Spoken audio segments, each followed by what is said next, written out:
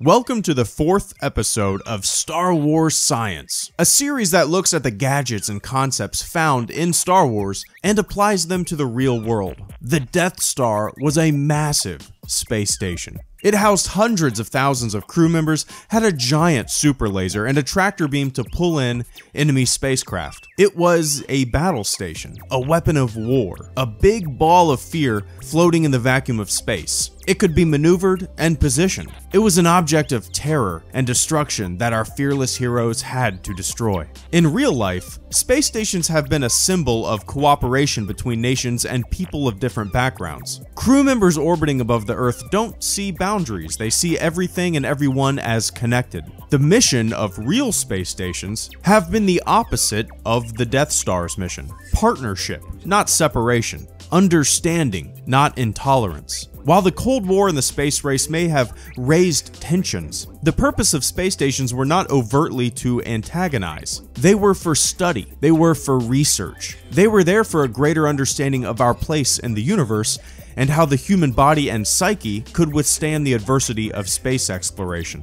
The first ever space station was launched by the Soviet Union on April 19, 1971. It was called Salyut 1, which translates to Salute 1. Two months after Salyut 1 was successfully put in orbit, the first manned mission to ever dock with the space station and have its crew of three board was a success. June 7, 1971. But as soon as they boarded, they had to quickly replace ventilation system parts because they encountered a smoky and burnt atmosphere inside of the station. Once this was fixed, the crew spent a total of 23 days in orbit on board the world's first space station. Unfortunately, space exploration is a dangerous and unpredictable task. When the capsule landed back on Earth, the recovery team found the crew dead. After an extensive investigation, it was concluded that the crew died due to capsule decompression. The first space station in the history of mankind only housed one crew. While it stayed in orbit for a total of 175 days, no one ever went back. On October 11th, the main engines were remotely fired for a de-orbit maneuver, and Salyut 1 purposefully burned up during re-entry over the Pacific Ocean.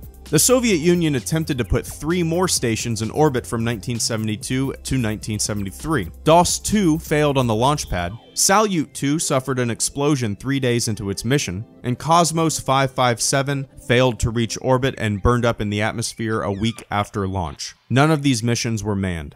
On May 14, 1973, the United States launched Skylab. Skylab orbited the Earth from 1973 to 1979 with 34,981 total orbits. Three successful manned missions docked with the station, three crew members per mission, a total of nine visitors. When the first crew, SLM-1, boarded Skylab, they had to jump into action to make heavy repairs. Solar panel arrays were damaged during launch, depriving Skylab of most of its electrical power, which slowly made the station uninhabitable. Pete Conrad, Joseph Kerwin, and Paul Weitz were able to deploy a replacement heat shade, free the jammed solar panels, and save Skylab in temperatures of close to 125 degrees Fahrenheit. Fahrenheit. Orbiting the Earth for an extensive period of time allowed the crews to conduct scientific experiments. The Earth Resources Experiment Package viewed the Earth with sensors to record visible, infrared, and microwave spectral regions. The existence of coronal holes in the sun were confirmed. Thousands of photographs were taken from a vantage point never seen. The effects of prolonged spaceflight on the human body were also studied. The astronauts even showered once a week but found the procedure difficult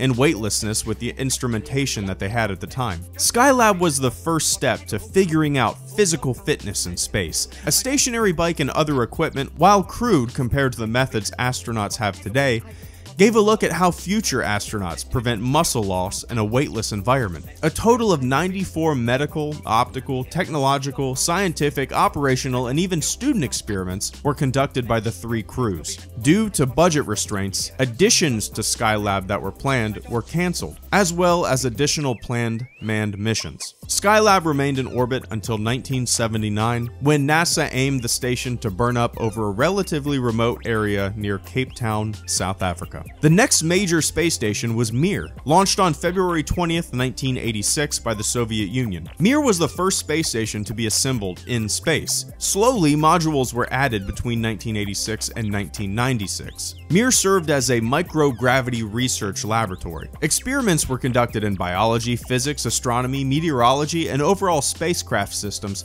to fulfill a goal of learning more and developing technologies to permanently inhabit space. Mir was incredibly influential. It unlocked so many mysteries about human habitation in space. Mir remained in orbit until 2001, a little over 15 years. It saw the collapse of the Soviet Union and was then operated by the Russian Federal Space Agency. Valery Polyakov, a cosmonaut who lived on Mir, still holds the record for the longest single human spaceflight 437 days and 18 hours, more than 14 months. Polyakov is one of the many heroes dedicated and devoted that can be found in human spaceflight. Space exploration is made up of a bunch of small steps, all walking towards a bigger goal. Mir is one of those steps. Its importance cannot be overlooked. Mir was deorbited in 2001 after funding for the project was cut. She re-entered the atmosphere, burning up, and falling into the South Pacific.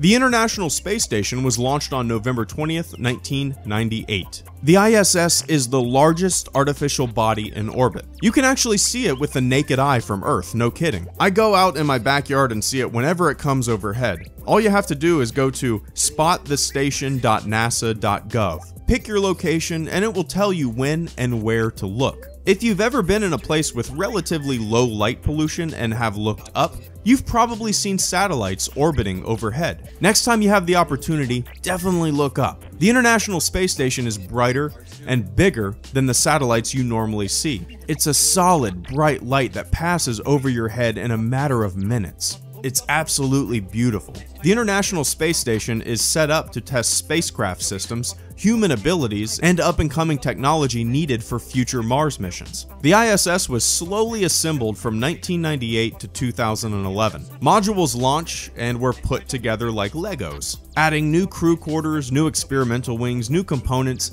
building upon itself more and more. Launching it all at once would be nearly impossible with the weight, so they assemble it slowly over time in space. The ISS is a joint program made up of five participating space agencies. Intergovernmental treaties establish ownership of the station. The ISS is a prime example of cooperation in space working together for the common good, a common goal. The United States used to resupply and send up new components using the space shuttle, but the shuttle was decommissioned in 2011. And sadly, it has not been replaced by a new spacecraft. Currently, the International Space Station relies on the Russian Soyuz to keep it supplied and manned. NASA's budget is currently less than one half of 1% of the United States federal budget. Funding is tight. Without proper attention, it is feared that the United States' space program and scientific endeavors as a whole will suffer over time. The International Space Station shows what a shoestring budget can do when brilliant minds from around the globe put their heads together. When we study the cosmos, we study ourselves. I don't think you can put a price on unlocking a planet's imagination and furthering the progress of our species. We must